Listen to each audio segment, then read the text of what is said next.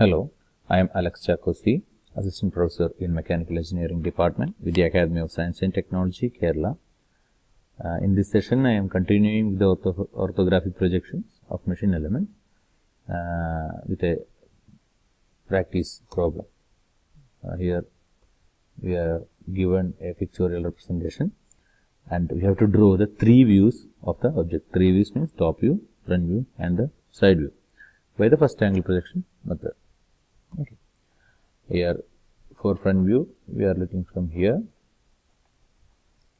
And uh, we are getting the front view here. This plane and this two and three. these three planes are getting here. And for the top view you can easily say 1 2 and 3 again 4 plane here and we have to see one circle a circle here and two more circles here. Two more circles here. So we are projecting all those things and we are getting two circles three circles. And the, here we can see this dashed line.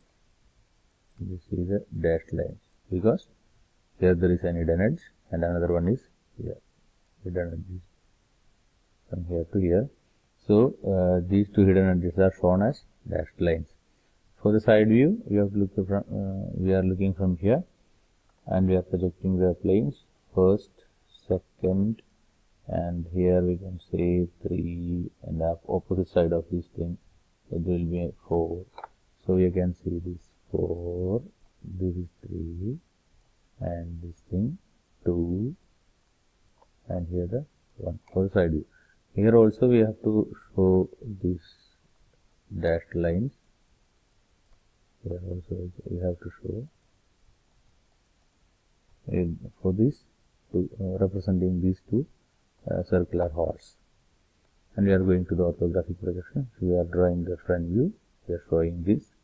And there is a central line here. Center line.